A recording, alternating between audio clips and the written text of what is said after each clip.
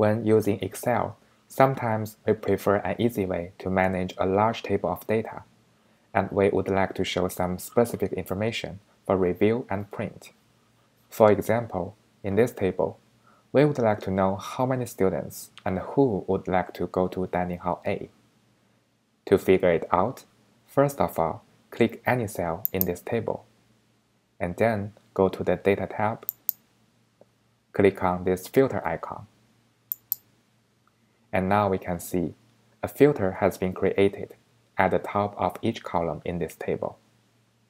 And we can select this column and choose from this list the option that we want. Such selection can filter the data out.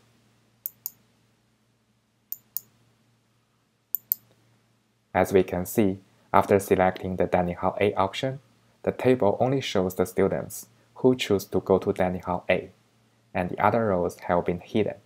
We can tell that from the row numbers. We can also use multiple columns and filter out the data we just want to see.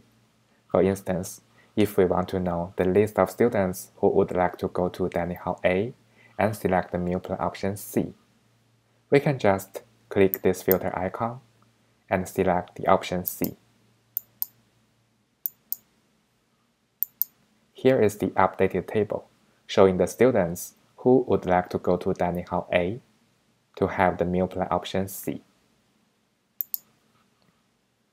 The next question is what we should do if we do not want the filter shown anymore.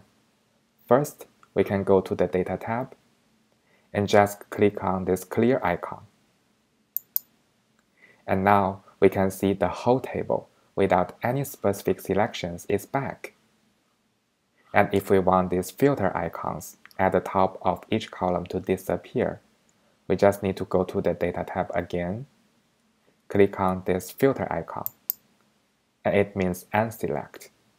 As you can see, the filter in each column disappears. So to summarize, the filter is a great way to manage the large lists of data.